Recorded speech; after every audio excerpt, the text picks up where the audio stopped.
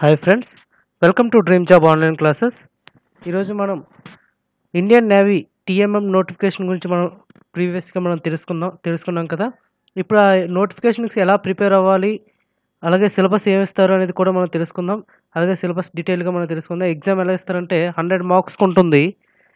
Exam hundred మార్క్స్కి ఉంటుంది. Arithmetic reasoning అలాగే ఇంగ్లీష్ మరియు జనరల్ అవేర్నెస్ ఇలాగ ఈ ఫోర్ టాపిక్స్ ఉంటాయి ఒక్కొక్క టాపిక్ నుంచి ట్వంటీ ఫైవ్ మార్క్స్ చొప్పున ఇవ్వటం జరుగుతుంది. ఈ సిలబస్ని కంప్లీట్గా మనం ఎక్స్ప్లెయిన్ చేసుకుందాం డీటెయిల్డ్గా ఇది డీటెయిల్గా ఎక్స్ప్లెయిన్ చేసుకునే ముందు చాలామంది అడుగుతున్నారు ఈ యొక్క ప్రిపరేషన్ ఎలా ఉంటుంది ఎలా ఉండాలి ఏంటి అని. ఎలా ప్రిపేర్ అవ్వాలని కూడా మనం చెప్తున్నాం. ఇక్కడ డ్రీమ్ జాబ్ స్టడీ అనే ఇక్కడ మీరు వెళ్తే ఇక్కడ సబ్స్క్రైబ్ చేసుకోండి ఈ యొక్క ఛానల్ని ఇక్కడ డ్రీమ్ జాబ్ స్టడీలోకి వెళ్ళి ప్లేలిస్ట్లో క్లిక్ చేయండి. ఆల్రెడీగా naval document exams naval document exams గురించి నేను వీడియోస్ చేయడం జరిగింది. ఇక్కడ ప్రిపరేషన్ మెటీరియల్స్ సిలబస్ అండ్ ఎలా ప్రిపేర్ అవ్వాలనేది కూడా నేను ముందు నుంచి నేవల్ డాక్యుమెంట్ ఎగ్జామ్స్కి వీడియోస్ పెట్టడం జరుగుతుంది. ఇది మీరు క్లిక్ చేస్తే ఇలా వీడియోస్ అనేది వస్తాయి. ఈ టాప్ టెన్ అంటే రీజనింగ్ మోడల్స్ అర్థం రీజనింగ్ మోడల్స్ ఇవి. అలాగే important questions important GK questions అలాగే అప్రెంటిస్ ఇంపా ఈ అప్రెంటిస్కనే పెట్టాను. ఇది ఎంటీఎస్కి అంటే టీఎం కూడా చాలా ఇంపార్టెంట్ బిట్స్ ఇవి. ఏదైనా ఒకటే సిలబస్ కాబట్టి సో ఈ ప్రిపేర్ అవ్వండి. అలాగే ఇక్కడ స్టడీ మెటీరియల్ అనేది కూడా ఇచ్చాను. ఇక్కడ ఫిజిక్స్ కెమిస్ట్రీకి సంబంధించి. అలాగే ప్రీవియస్ ఇయర్ క్వశ్చన్ పేపర్స్ అలాగే టోటల్గా ట్వంటీ సెవెన్ వీడియోస్ ఉన్నాయి. ఇక్కడ ఈ అర్థమెటిక్ టెన్ మోడల్స్ మోడల్ వైజ్గా కూడా ఇవ్వటం జరిగింది. అలాంటి క్వశ్చన్స్ అన్నీ కూడా ఈ వీడియోస్ అన్నీ కూడా ప్రిపేర్ అవ్వండి. And next units and dimensions వచ్చేసరికి లేదా ఫోక్ డ్యాన్సెస్ వచ్చేసరికి లేదా స్లోగన్స్ వచ్చేసరికి అలాగే model papers next heat and temperature topics గురించి కానీ ఇవన్నీ కూడా క్లారిటీగా మీకు ఈ యొక్క వీడియోస్ రూపంలో మీకు పెట్టడం జరిగింది. మీరు ఏమైనా డౌట్స్ ఉంటే కింద కామెంట్స్ రూపంలో తెలియచేయచ్చు. అండ్ నెక్స్ట్ ఈ సిలబస్ని మరోసారి మనం డీటెయిల్డ్గా మనం ఎక్స్ప్లెయిన్ చేసుకుందాం. ఫస్ట్ అథమెటిక్ రీజనింగ్ నుంచి స్టార్ట్ చేసి మనం ఎక్స్ప్లెయిన్ చేసుకుందాం. నిన్న మీకు ఈ యొక్క ఫీజు గురించి చెప్పాను కదా two two two hundred five rupees fee అనేది. అమ్మాయిలకి మాత్రం అమ్మాయిలకి ఎక్స్ సర్వీస్ మ్యాన్స్కి ఎక్సెంప్షన్ అనేది అంటే ఫీజు పే చేయని అవసరం లేదు. Only unreserved candidates and OBC candidates మాత్రమే అది మెయిల్ క్యాండిడేట్స్ మాత్రమే two hundred five rupees pay చేయాలి.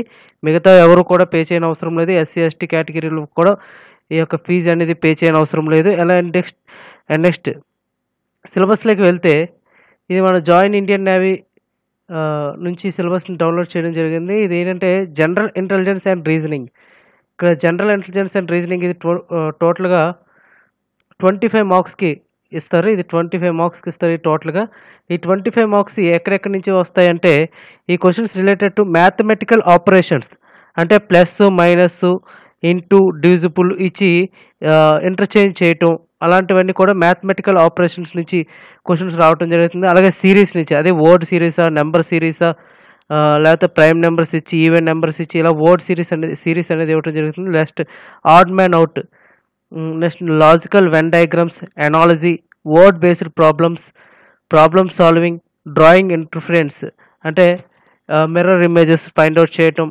లేదా ఇలా కోడింగ్ అండ్ డీకోడింగ్ ఒక వాల్యూ ఇచ్చి కోడింగ్ ఇచ్చి మళ్ళీ దాన్ని డీకోడింగ్ చేయడం నెక్స్ట్ నాన్ వెర్బల్ రీజనింగ్ ఇలాగ నాన్ వెర్బల్ రీజనింగ్ కూడా ఇస్తారు. ఎలా ఉంటాయంటే ఇలా ఈ క్వశ్చన్స్ అనేది ఇలాగ నాన్ వెర్బల్ రీజనింగ్ ఇలాగ ఈ ట్రై ట్రయాంగిల్ ఇచ్చి ఇలాగ ఎన్ని ట్రయాంగిల్స్ ఉన్నాయని ఇలాంటివన్నీ కూడా ఇవన్నీ కూడా నాన్ వెర్బల్ రీజనింగ్ కింద వస్తాయి అని ఇలాగ డయాగ్రమెటికల్ రీజనింగ్ ఇది అంతా సో రీజనింగ్ అనేది ఇలాంటి క్వశ్చన్స్ వస్తాయి? ఇలాంటి మీకు మోడల్ పేపర్స్ అనేది కూడా నేను పెడుతూ ఉంటాను.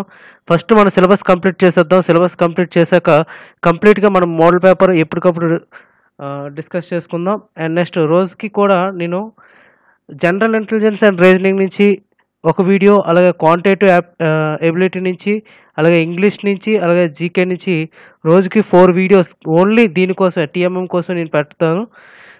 సో నెక్స్ట్ క్వాంటిటేటివ్ ఎబిలిటీలో వచ్చేసరికి main number series number series time and work mensuration registration proportions averages profits and loss discounts percentages time and distance simple and compound interest statistical charts trigonometry geometry అలాగే LCM and HCF ఇవన్నీ topics కూడా వస్తాయి.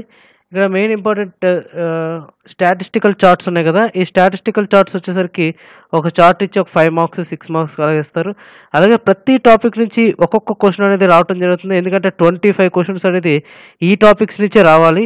So మీరు ఏదైతే స్ట్రాంగ్గా ఉంటారో ఆ టాపిక్స్ని మీరు క్లారి నీట్గా నేర్చేసుకోండి.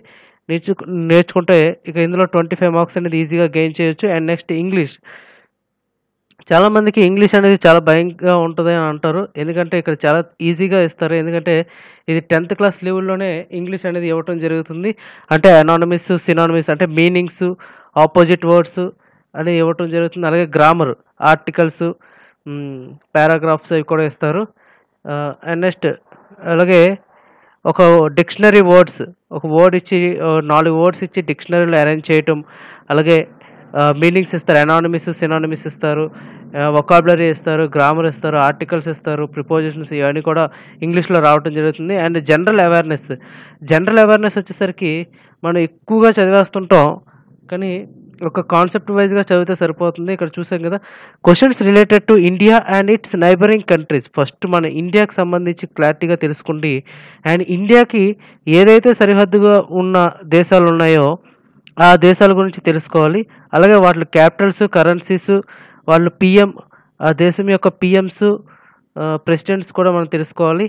అలాగే మన ఇండియా ఇండియా యొక్క ప్ర ప్రధానమంత్రితో పాటు మంత్రిమండలి అంటే మినిస్టర్స్ మినిస్టర్స్ ఇవన్నీ కూడా మనం తెలుసుకోవాలి.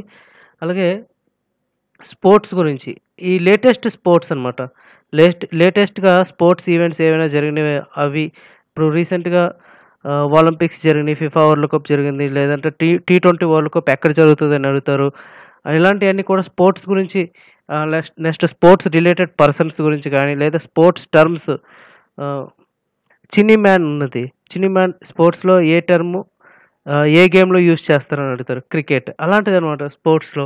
అలాగే హిస్టరీ హిస్టరీ తెలుసు కదా హిస్టరీ త్రీ పార్ట్స్ ఉన్నాయి. Modern history ancient history present after independent pre independent post independent history అంటే క్లారిటీగా మరీ డెప్త్గా చదవనవసరం లేదు. ఏదైతే ఇంపార్టెంట్ టాపిక్స్ ఉన్నాయో నేను చెప్తాను అది హిస్టరీ వరకు చదవండి. అలాగే కల్చర్ అలాగే జియోగ్రఫీ జియోగ్రఫీ తెలిసిందే కదా జియోగ్రఫీ వచ్చేసరికి సోలార్ ఎక్లిప్స్ నుంచి టోటల్గా అన్నీ కూడా అన్నీ కూడా చదవాలి. జనాభా పరంగా అదే జనాభా కానీ శీతోష్ణ స్థితి కానీ ఇవన్నీ కూడా చదవాలి. అలాగే ఫిజిక్స్ కెమిస్ట్రీ ఫిజిక్స్ కెమిస్ట్రీ అనేది నేను వీడియోస్ అనేది పెట్టడం జరిగింది. అది అందులో చూడండి. అలాగే కంప్యూటర్ సైన్స్ వచ్చేస్తే మన కంప్యూటర్స్ బేసిక్గా ఎక్కువగా స్మార్ట్ మొబైల్స్ యూస్ చేస్తాం కదా. అలాగే కంప్యూటర్స్లో షార్ట్ కట్ కీస్ కానీ లేదంటే ప్రింటర్ అంటే ఏంటి అసలు ఇన్పుట్ అంటే ఏంటి అవుట్పుట్ అంటే ఏంటి?